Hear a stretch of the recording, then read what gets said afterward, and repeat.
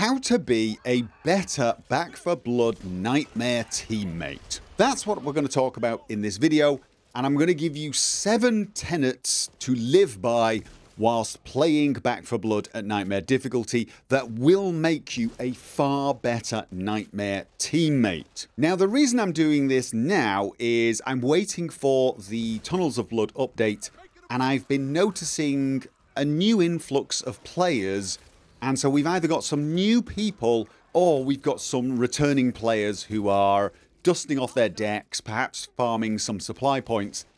And I have to say, I'm seeing some of the old mistakes, the sort of mistakes that disappeared for a while, but they seem to be back in force. So I think now is the perfect time to just, you know, give a little advice on how to do better at this game at the toughest difficulty. Please note, I am not judging anyone here because I can tell you I have failed to live up to these tenets myself, some more than others. It's just these are the qualities I try to embody whilst I'm playing at Nightmare difficulty because I know that I am a better Nightmare player and a better Nightmare teammate when I do. Number one, fortitude. Don't quit. This is by far the most important piece of advice that I can give you. This should be a rule that you tattoo into your brain if you want to play Nightmare difficulty. This game can be brutal at Nightmare difficulty. It is going to punish you, it is going to test you, and at times it's going to feel like it's cheating just to make you miserable. You are going to have to steel yourself against it. You're going to have to pick yourself up after you get knocked down, and you will get knocked down, but you have to get back up and you have to scream at the monitor and keep pushing. This is partly because that's how you get better. You train by just pushing yourself harder and harder. You go through the pain barrier and you become better but it's mostly because it's not always as hopeless as it first might seem. I cannot count the number of times I've seen someone in a hopeless situation where it's looked like there's no chance they'll be able to survive. They're all alone. It's just them. There's horde after horde. There's a boss. It's just a complete nightmare. And yet somehow, through sheer determination and skill, they manage to survive and find us and rescue us and we get back together and then go on to completely dominate the act. You might not think you've got the skill to do that, but it's more about the mentality. If you've just got that I will not give up mentality, you will develop the skills, you will push yourself, you can be that player. And don't be the guy that quits just because you died. Yeah? Don't don't be angry at your team because they didn't get to you in time to save you after you went down. These things happen. They may have been busy, they may have had to save themselves. This may not have been your fault. It could just be the game throwing a curveball at you. You just have to bear it. That's nightmare. And don't be the guy that quits when the team wipes and still has a continue left, especially on the first map. I've seen that a lot recently and I think it's because we've had some return players coming back in preparation for the update and I, I, think the mentality is, well, if we've wiped on map 1, we're never going to make it to the end of the act. Wrong. You could not be more wrong.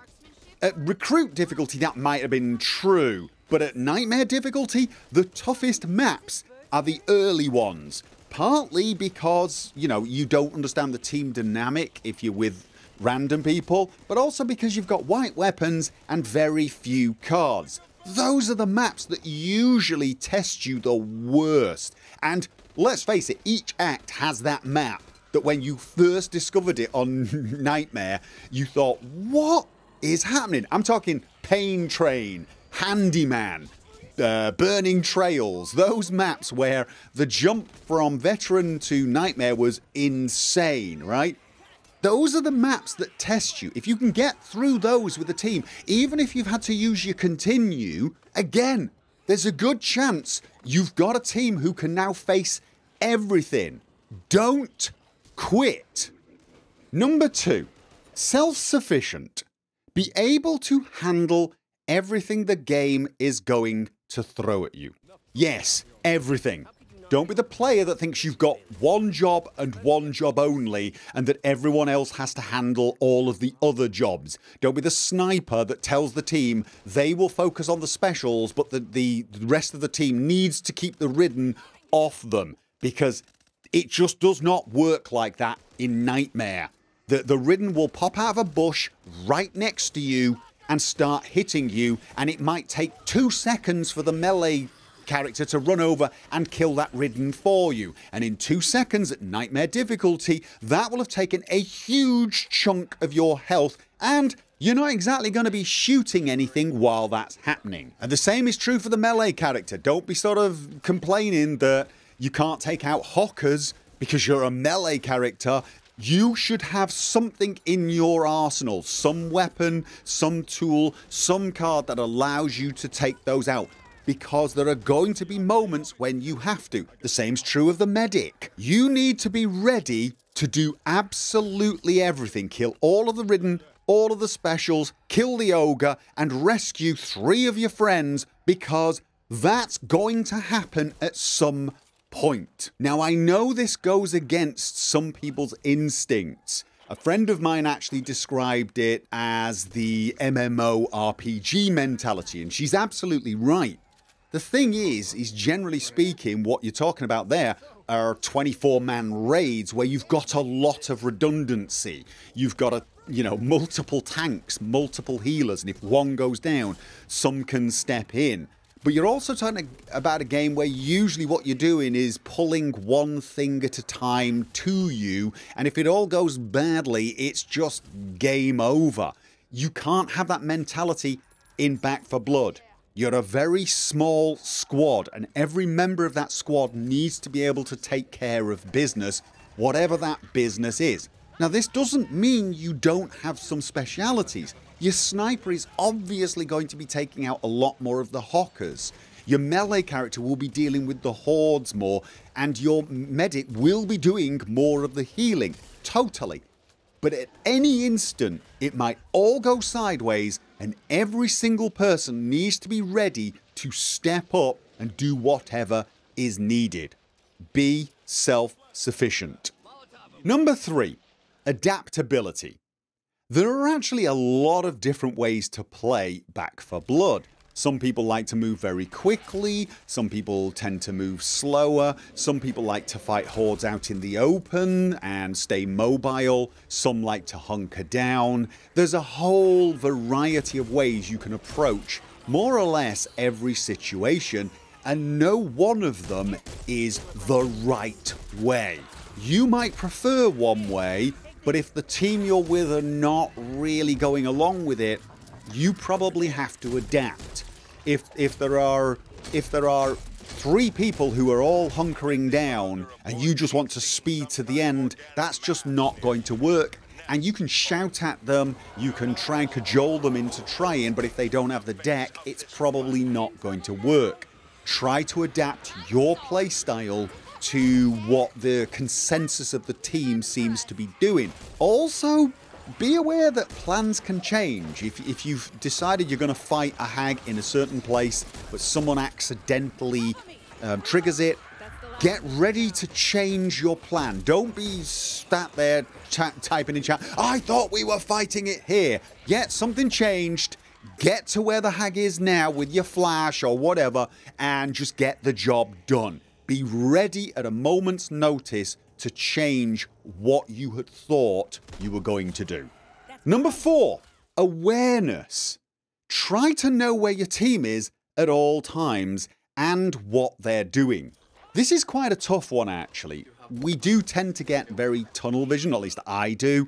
If you're the one at the front, you're pushing forward, you're constantly looking for things coming out of the bushes at you and it's very easy to suddenly lose track of your team and not realise you've left them behind because something happened to them.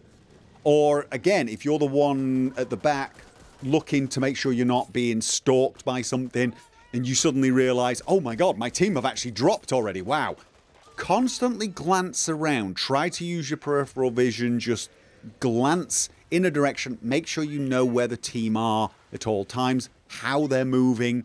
Try to know where they're facing as well, and if they're firing, be very aware of the fact that there there are line of fire issues in Nightmare because friendly fire is an issue. It's your responsibility to not jump in front of your teammate.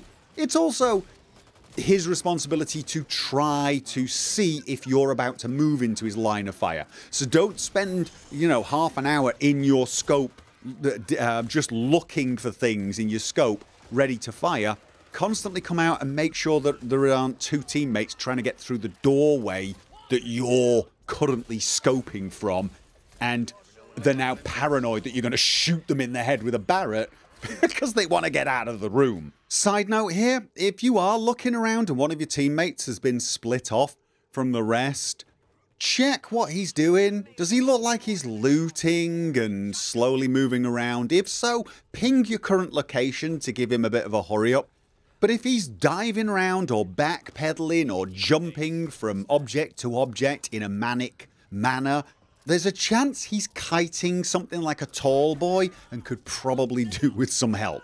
Yeah? Of course, that neatly brings us on to number five communication.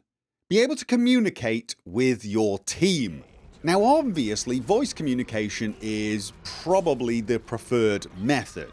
It does allow you to very easily give a lot of details, explain plans, etc.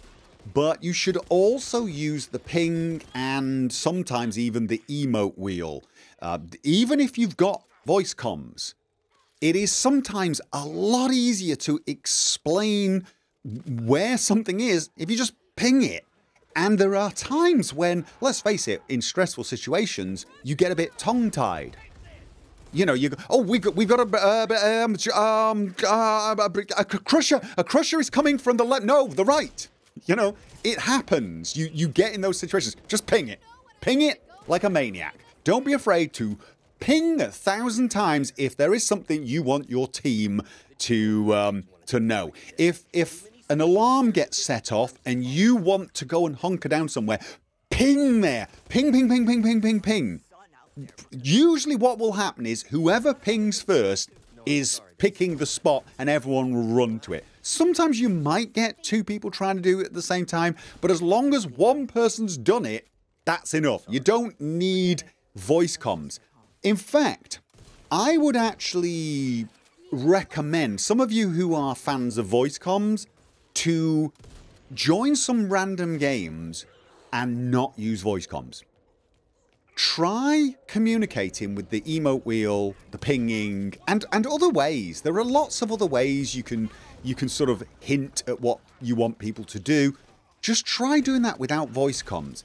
You actually get quite good at uh, telling people what you want, but you also get better at reading what they want if they don't have voice comms. And then when you go back, if you're playing with a regular team who do use voice comms, what you'll actually notice is sometimes the communication with voice comms is less efficient and you'll start using a mix. Number six, be a team player. Put the needs of the team above your own. Now, I debated long and hard with myself as to whether I should even include this one, because let's face it, this is something that you should have uh, figured out by the time you get to Nightmare, but I'm still surprised at the number of people who will just, you know, they'll run up to a mod case and they'll stick a scope onto the Deagle that they've used maybe three times in the last four maps, even though the sniper still doesn't have a scope. Now, they could argue, well, I didn't know he didn't have a scope. Mm, that's what I'm talking about when I say be a team player. If you've got a sniper in your group, just ping any scopes you find so that he can come and have first choice of them. If you find a first aid kit or a bandage or you get a first aid cabinet, check everyone's health. Who should get it? Don't don't say to yourself, "Oh, well, I've got some damage. I'm going to use the bandage." If one of your teammates is on like three health, and again, it, it, this isn't just about being a nice person. It's in your best interests. If you've got a player on three and four health, he's you know one ridden hit away from going down which is going to cause you a problem or even dying and then you're a man down. But also he's moving slowly whilst he's on that hill so he's slowing you down. So if you want to just be a complete selfish jerk about it you are going to be better off if you look after your team if you put them first. But and I think this is probably more important if you actually do that, the team will start doing it back to you. They will start thinking, oh, right, you're using a shotgun. I found uh, a distant barrel mod, or I found bullet stumble. Bullet stumble on that shotgun. You use an attack? Yeah, you, you probably need this more than me. I'm just, I'm, I, I'm going to put it on my pistol. They will do the same back to you. It builds team cohesion.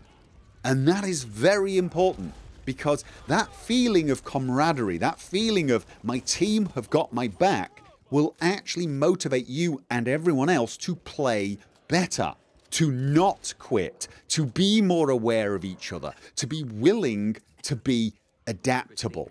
So be a team player, promote that team spirit, and you know you will just you will just find yourself enjoying the game more and ultimately doing a lot better. And last but not least, number seven, humility. Forgive, forget, and support your teammates, even the annoying ones. If somebody on your team makes a mistake, deal with the consequences of that mistake and then move on. Do not cause drama, do not be a dick and call them a noob, and certainly don't do any of that whilst the consequences of the mistake are still ongoing. You know, like in the middle of a horde caused by someone triggering the birds. Don't be typing things. You should be dealing with the horde. Deal with it and move on. Don't pretend that you've never made a similar mistake because you have. Yes, you have. If you've never made a mistake in Back 4 Blood, you would not be watching a video like this. You would not be searching for videos on how to be a better player. You've made mistakes, so don't give other people grief for it. Maybe they're not as experienced as you. Maybe this is their first time at Nightmare. And if it is, don't be sort of going, oh, is this your first time at Nightmare? Oh my god. Don't make them feel bad. It does not help. All you're going to do is make them feel resentful you're going to make them defensive. They're not going to play better, they're going to play worse. Whereas if you just deal with it, don't worry about it, or if they apologize and you say something along the lines of, yeah, don't worry. No, no, you know, we've all done it. It happens. If you do that, this person will be grateful. This person will will will want to do better for the team. They will like you because you weren't a judgmental prick. And I know, sometimes it's not easy. Sometimes someone will make so many mistakes or such a daft mistake you're left scratching your head and thinking, how did you make it to nightmare difficulty? But the, the simple fact of the matter is, is sometimes people just have a really bad day. They just do. It's just, maybe they're tired. I've had those days where I've set off three sets of birds in quick succession and thought, yeah, I'm really way too tired to be playing tonight. and quit, right? It, it does happen. But being a dick about it isn't going to help. It really isn't. You can say, oh, it makes me feel better. Does it now? Does it? Uh, try it. Next time someone totally screws up and goes, sorry about that, try saying, don't worry about it, mate. We've all been there.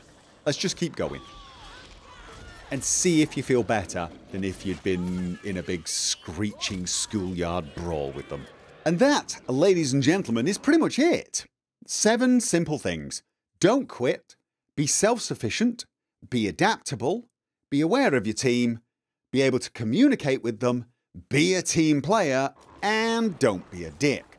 And I could probably summarize all of those by saying something pithy like, be the player you would like to play with. Because if you think about it, all those seven things are things you would want your teammates to exhibit. You don't want your teammates to quit at the first sign of adversity.